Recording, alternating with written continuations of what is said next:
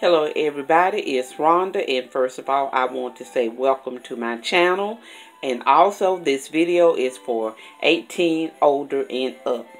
I have received my little winnings from Muriel who is Mrs. Cooper's Coop here on YouTube and as I was watching this video I was saying I'm going to make some of those little balls but lo and behold I won a box of the little balls and I am just opening this opening this up and right off the bat these are so pretty and festive and I think she said she got the fabric from Walmart.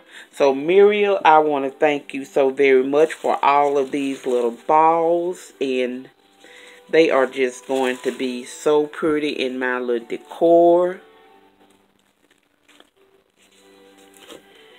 And then there are these. And just think, I think I'm going to put these in a bowl or a basket. So again, Muriel, thank you so very much. And then I can see a little plate down here in...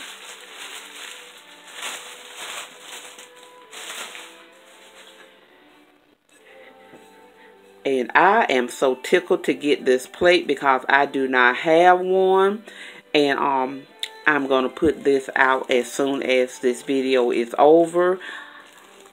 I hadn't had a plate like this since my kids were little, so this is going to come in handy. Again, thank you, Muriel. I want to thank everybody for watching. I hope you all have a great day, and I will talk to you later.